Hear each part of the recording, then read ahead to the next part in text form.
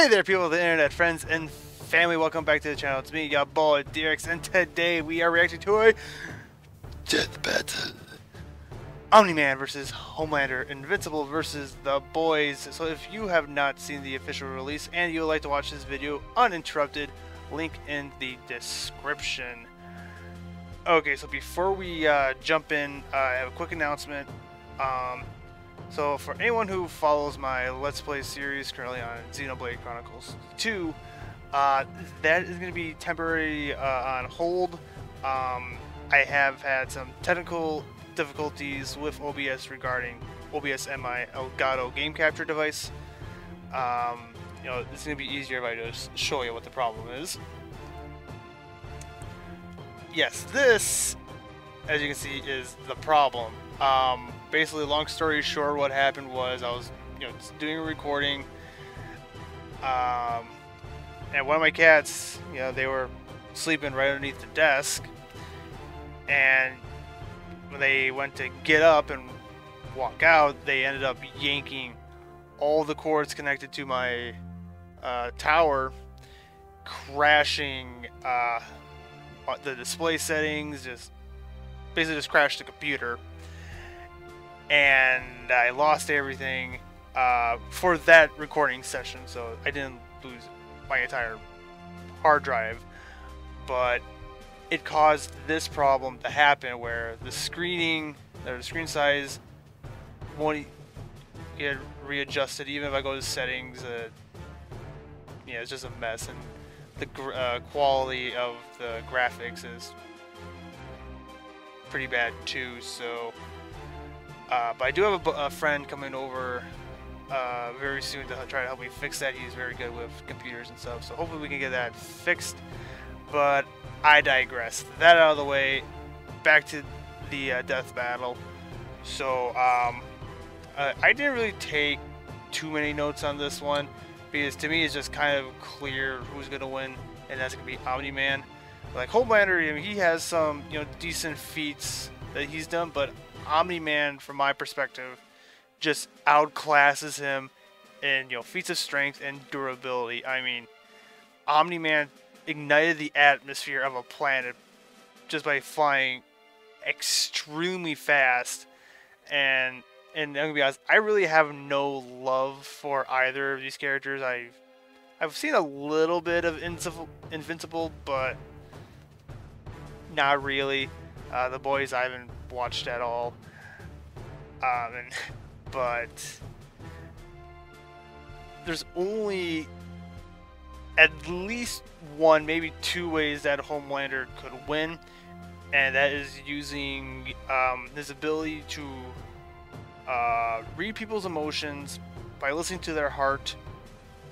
If I, you know, if I wrote that down, remember correctly, and um, you know his high-powered yell, scream, whatever you want to call it. Because people like Omni-Man or of his race, they are highly sensitive to high frequencies and that can, you know, disable their ability to fly and you know, just it's it's one of their like very few weaknesses. And so yeah, those those two things. I mean, I don't know how uh, listening to someone's heart when it comes to their emotional state could help.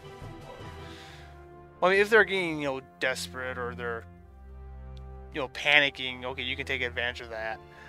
Uh, but Omni-Man really seems a guy who is relaxed. I mean, I shouldn't say relaxed.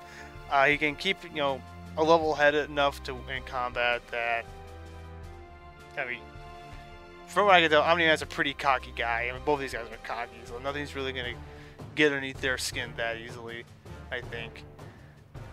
But yeah, so I'm yeah Omni-Man for the win. And so yeah, enough of me talking. Let's go ahead and jump right into this. Alright, and play.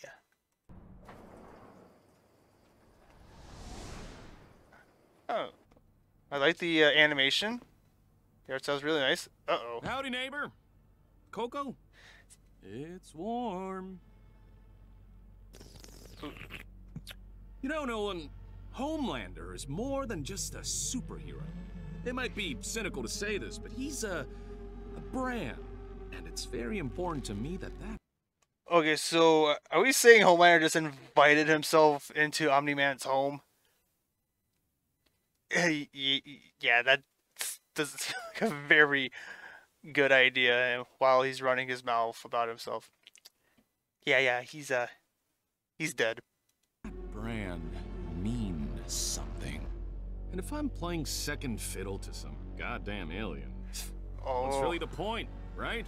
Matter of pride. Think? Debbie, Oh. Aw, she's shy. So. Mm, man, that that's actually kind of a uh, hard to look at. Yikes. Do we have an understanding? Get the f out of my country. I'm going to feed you your own heart. Shit. That was a great line. Country? Seriously? I'm not here for your country.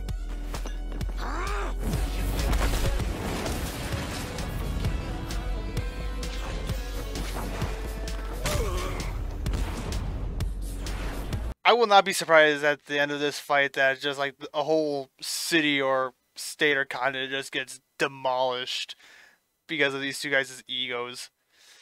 Which would be kind of fitting for this type of fight, honestly.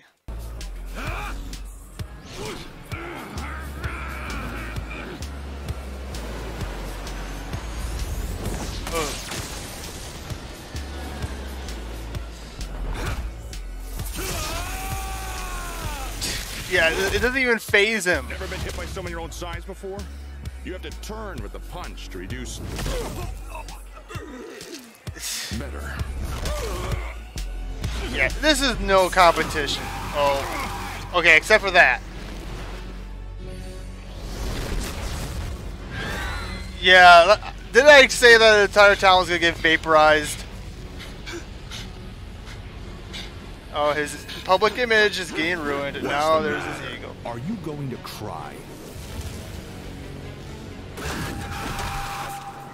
Right now, son of yours! This worthless neighborhood! And every goddamn person you know! Oh. Ow. Ugh. Remember what I promised you. Swallow.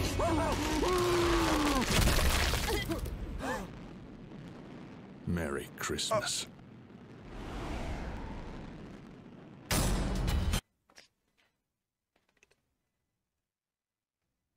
I have to say, I mean, I was expecting it, but I wasn't, you know, expecting it. But this, oh, I think this is probably the most bloody and gory death battle yet. KO! Wiz, if there's a god, it sure seems like he was working out some aggression there. Despite Homelander's dominance within the world of the boys, he's a big fish in a small pond. Now, let's see. Yeah, 7.2 billion times faster, healing factor, superior flight ability. Slightly more varied riding abilities, counters, yeah. Yeah, like this was the only thing that uh, Homelander had. It was, yeah, no contest relatively speaking. Homelander can move faster than sound, while Omni-Man can move faster than light. Homelander can survive a nuke, while Omni-Man can shatter- Did have a couple of abilities Omni-Man didn't, like his heat vision. And while Viltrumite healing factors have failed against continuous exposure to the heat of stars, that still took quite a bit of time, and there's no reason to think Homelander's heat vision was anywhere near that hot. Hell, Nolan's tanked heat vision from the superhero Mean Supreme before, who can vaporize people in an instant. Even if it was hot enough, Omni-Man's superior speed would cut him off before he could do any lasting damage. Similarly, Homelander wasn't strong enough to capitalize on it in any meaningful way. Plus, while Homelander is pretty devious when the situation calls for it, Omni-Man has been fighting and conquering worlds for thousands of years. He comes from a warrior culture based on fighting himself as a fighter because he was always so much stronger than everyone else. And that's the key difference between them. One is a warrior, and the other is a bully. Homelander was never going to give up easy, but Omni-Man's skill, power, and Viltrumite heritage earned him the win. When it comes to Superman knockoffs, Homelander had to eat his heart out. The winner Literally. Omni-Man. Well, good thing I didn't Death eat Metal before is this. back, and we've launched a brand new membership program for our YouTube channel. By directly supporting our team, you'll get unique emotes, badges, and additional content, and a bunch more. Click that join button to see more info, and thanks so much for watching. Alright, who's next? Magneto. Okay. Tetsu. Oh, Tetsu. Yeah, I only know that character because of a YouTube channel, uh, Anime Recap, I think it is. But. Oh, good night.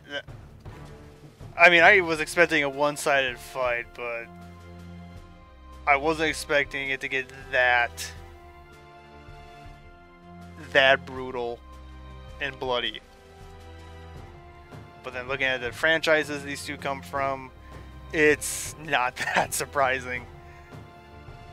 Anyway, well that's it for this video. Uh, like, comment, and uh, subscribe, and yeah, just tell me what you guys thought about this fight. I'm sure there's some of you out there who loved the brutality of this. And uh, yeah, I will catch you later.